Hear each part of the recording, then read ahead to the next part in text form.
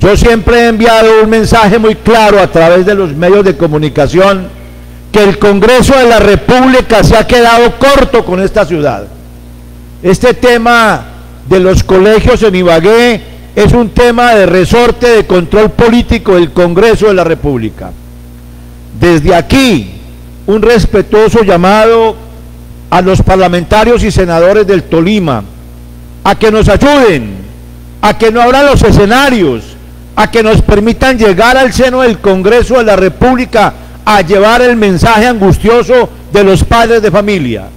¿O es que el gobierno nacional a través del Ministerio de Educación aún no se ha enterado el grado de deserción que existe actualmente en esta ciudad y que va a existir por causa del abandono y la responsabilidad que cometió el gobierno nacional con esta ciudad y con otros sectores del país?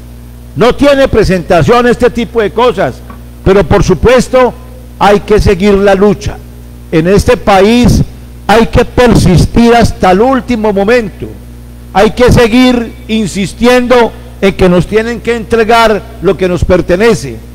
A nosotros vergonzosamente los tolimenses nos quedó un recuerdo muy amargo que fracasó este proyecto en manos de una ministra tolimense para vergüenza de todos.